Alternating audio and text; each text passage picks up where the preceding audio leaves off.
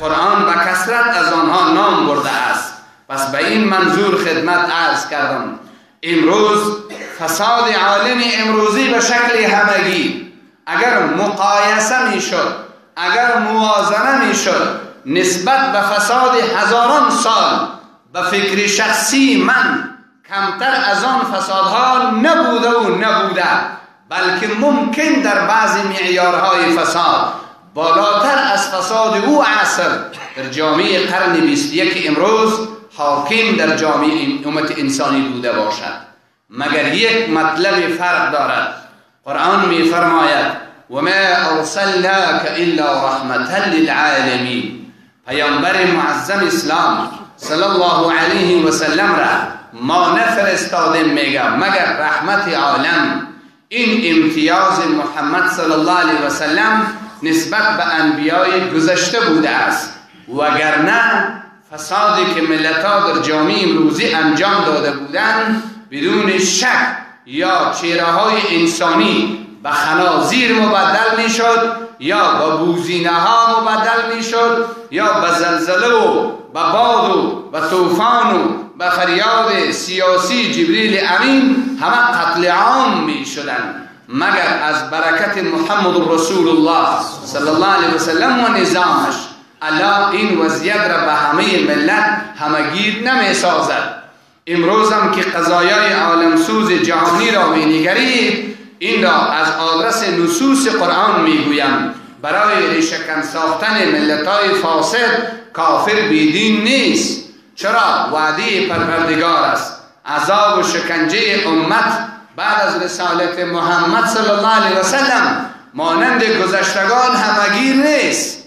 عزیزان من اما صوت عذاب الله تازیانه عذاب الله جنود و لشکر نامرئی و دیده نشده در گهی گهی بعد از گذشت تاریخ و زمان ملت ها را هوشیار و بیدار می سازد به این خاطر خدمتتان عرض کردیم عزیز من که فسب علیهم ربک صوت عذاب۔ باز هم برمیگردم که کار الله شده نیست۔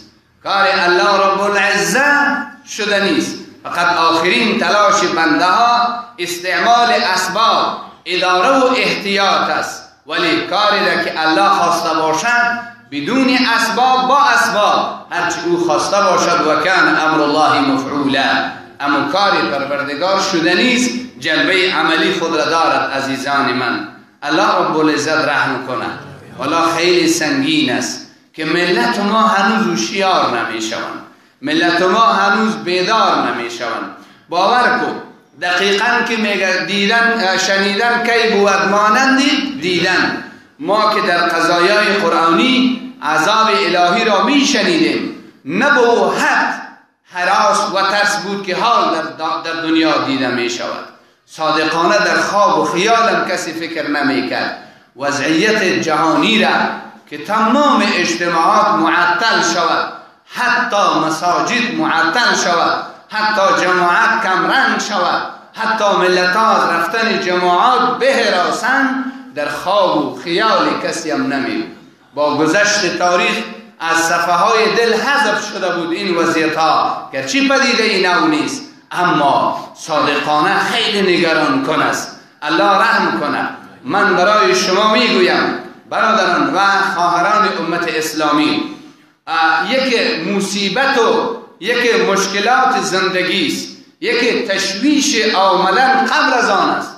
مگر بیاد داشته باشین تشویش مصیبت به مراحل بالاتر و سنگینتر از آمدن مصیبت است. و این معناست مصیبت زمانی که می آید الله رب العزت صبرش را نصیب می‌کنه اما تشویش و نگرانی قبل از آمد آمد ملت ها را خیلی نگران می‌کنه نصوص قرآن و حدیث رسول صلی الله علیه وسلم به ما گزارش می‌دهد. منافقین عصر رسالت با وصفی که کشتنشان مجاز نبود غنیمت مالشان مجاز نبود. در خطوط جنگ با رسول الله نمی بودن اگر بودن منافقانه اما آنقدر نگران بودن آنقدر تشویش بودن وضعیت زندگیشان را قرآن تمثیل می‌کنه هیچ آرامش در زندگیشان دیده نمیش چرا؟ همه شب و روز در تشویش بودن که آیات قرآن به افشای راز ما میآید. نشود اولاد ما کشته شود. نشود مال ما به غنیمت برده شود. یک عمری که تا به کفن به خاک رفتن سراسر به نگرانی و تشویش رفت. چی خوب است. من خدمتتان عرض می‌کنم. وضعیت توریست. کار الله چیست به یک صدا اگر این باقی عمر را به تشویش و نگرانی سپری کنیم مایه چندین بیماری دیگر می شود خصوصا کسایی که بیماری قلب و غیره دارند. بیاییم. چی خوب است که از صبر و استقامت کار بگیریم؟ چی خوب است که عقیده ها را بسازیم؟ کار الله چیست؟ ولی اسبابش را استعمال کن اسباب بیداشت را رعایه کن. ولی کار الله چیست؟ یک نوی صبر خود را خود باید داد. یک نوی تسلیت خود خود را باید داد. ربط و ارتباط قوی به خالق قائم باید کرد. بهترین زندگی امی زندگی است. و در هر محیط و محل از مشکل یتیم و مظلوم کسایی که کار روزانه داشتن امرار معاش زندگی از کار روزانه بود که به تعدیل انجامید از حالشان با خبر شویم. قدر زندگی ما به داد و مشکلشان برسیم و از اون نیت ثواب کنیم از اون نیت رفع بلا کنیم. رابطه را به خالق بلا قایم کنیم از اینجاست عزیزان من. بسیار تشویش و نگران بودن هم مایه مشکلات دیگری است. فقط یگانه راه حل همین است که کار الله چیست؟ با استفاده اسباب با ریایی امور بهداشت با در نظر گرفتن احتیاط در زندگی. ولی این عقیده را از دست مده که وکان امر الله مفعولا. دنیای پیشرفته غرب که در 24 ساعت قرار گزارشات 4000 و چند صد نفر را از دست می‌دهند ولی نسبت به من و تو به مراحل به اموری بیداشتی مراقب و مواظبن. ولی این به ما نشان می‌دهد. و کان امر الله مفعولا. امر الله چیست؟ شده نیست. و ما به این وضعیتشان نگران هم نیستیم. قرآن کریم در یک از فرمولهایش موارد حمد را بیان می‌کنه موارد بیان می‌کنه یک مورد حمد و ستایش الله امان است که کافر ظالم هرگاه که هلاک می شود مسلمان خبر می شود با یک عمق محبت درون دلش بگوید الحمدلله. ولی این را ما به خود مشکل احساس نمی کنیم آره اگر مسلمانان در جهان مصیبت دارن برای تک تک مسلمانان معمولیت است. در حقشان دعای رفع بلا کنند و در حد ممکن از هر وسیله به امور زندگیشان رسیدگی کنند و اینجا ما را ناقض حقوق بشر دشمن بشریت نخوانند. من پیام خالق بشریت را خدمت شما عرض کردم.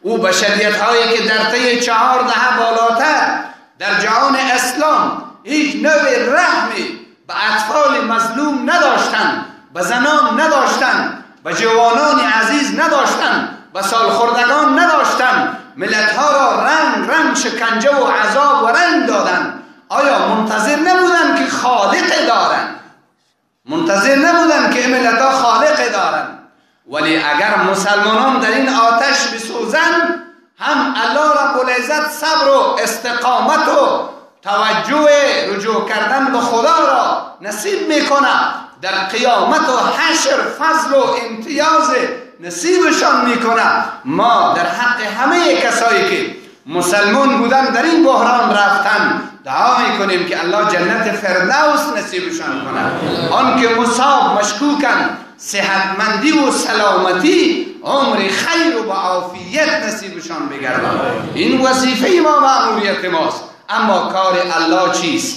کار الله شدنی است. بدون شک و جهان پیش برین عزیزان من. تحلیل طبی خدمتم رسید.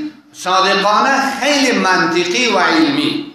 وقتی که بیان می‌کنه این ویروس و این بکتریا یا هرچی که شما تعبیر می‌کنید در برابر نور آفتاب بیشتر از چند ثانیه تاب مقاومت زندگی را ندارد. الله رحم کنه. نگفم رسیدین؟ بله. یعنی هر لحظه ای که گرمی را در فضای خانه و حویلیت نگاه می‌کنی خودتا لباستا کلاهتا بوتتا در شعای آفتاب بگذار. از خالق آفتاب حمایت بخواه. بیشتر از چند ثانیه این ویروس وجود زندگی نمی‌تونه در مقابل نور آفتاب.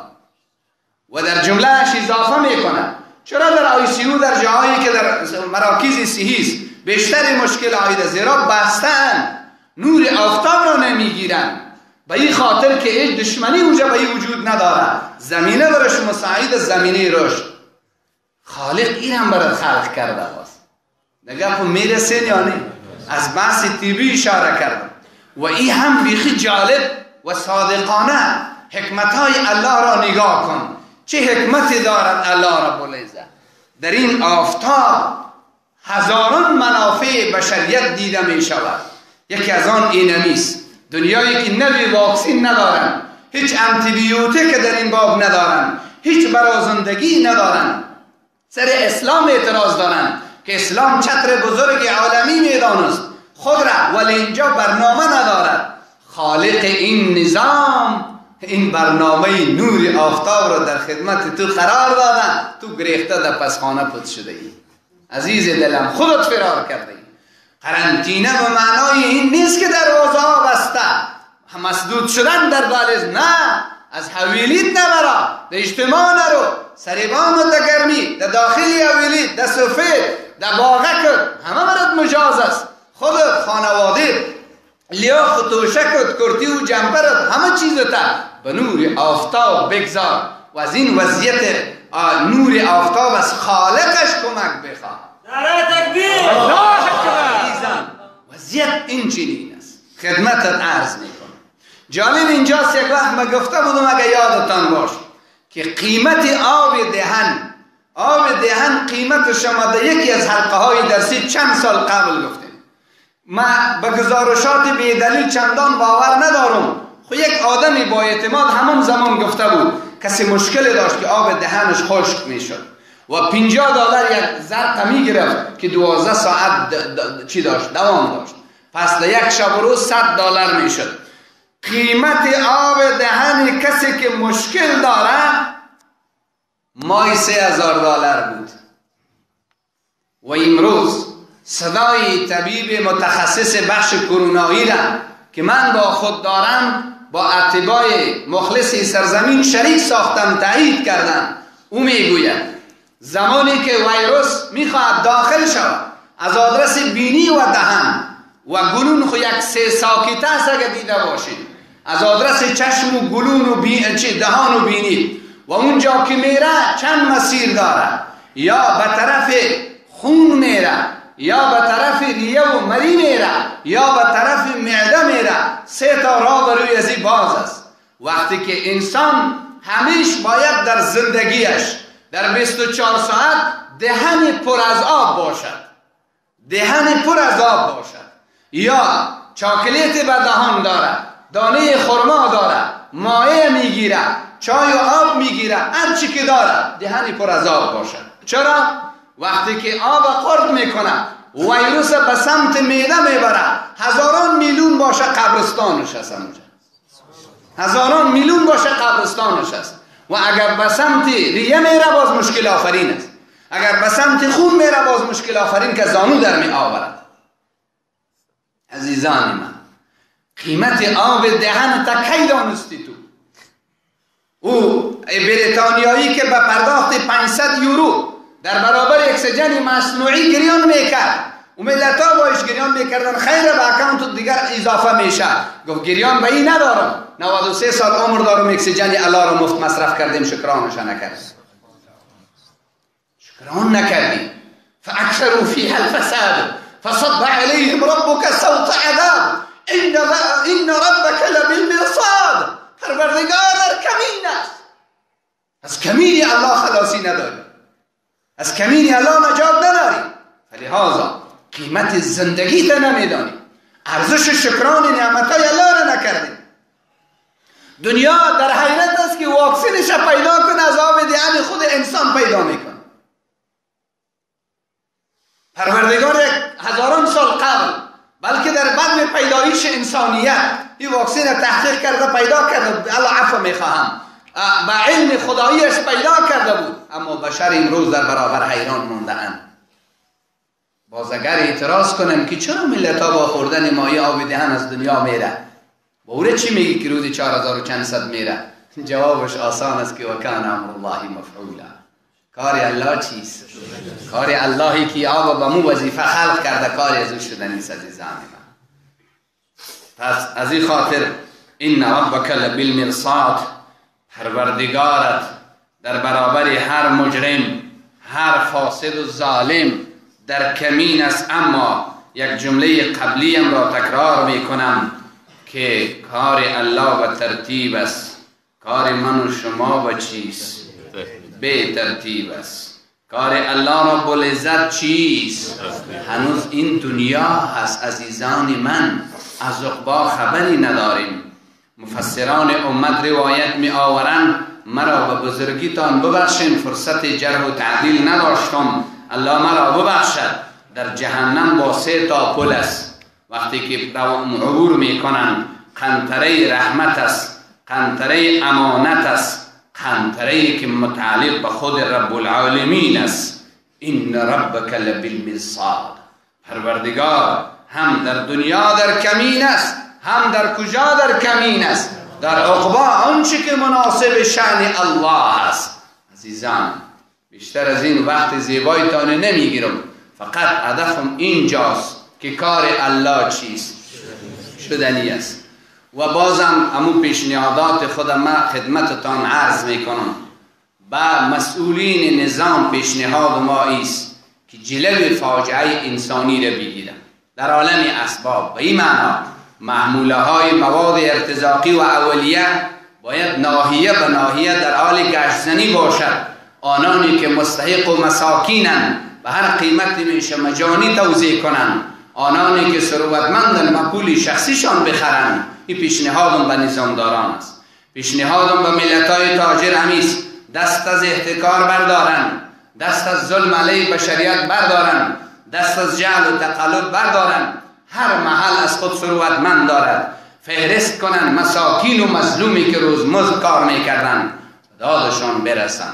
و از خالقشان کمک بخواهند. پیشنهادم همیست و خدمت شما برادرانی که همیش به القای درسی هستین. پیشنهادم همیست سر اسباب و استعمال اسباب بهداشت آنقدر باورمند نباش که رابطه از مالک اسباب قطع گردد. رابطه را به کی باید قایم کرد؟ ولی به این معنا نیست که ما با سبب دشمنی داریم. کار الله چیست؟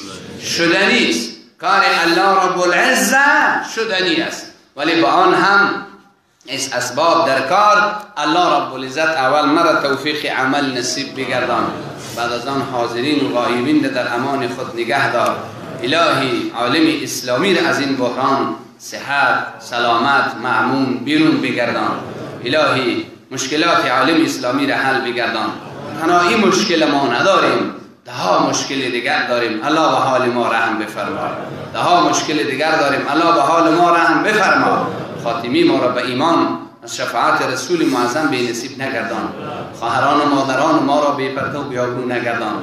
نسل جوان خواهران و مادران ما در هر دنیایی که هستند صدای مرا میشنوند الله رب العزت از گذند زمان نگه داد الله از این مصائب نگه داد آرامی صحتمندی امنیت عدالت نصیب ما بگردان. اتحاد وحدت نصیب ما بگردان. پروردگار نظامی که تو راضی استی امور نصیب ما بگردان. مرده های ما را مغفور مرحوم بگردان. مریضای ما را شفای عاجل نصیب بگردان. بداد مستمندان و فقیرانی که در جامعه ها هستند الله خودت برس. الهی از شفاعت رسول معظم به نصیب نگردان. حاضرین و غایبین مراکز دعوت تعلیم تربیت در هر سرزمین سلا در امان خود نگه دار. نسل جوانی که در انتشار امور دینی خیلی تلاش می‌کنن. الله نصرت و یاری بفرما. ربنا تقبل منا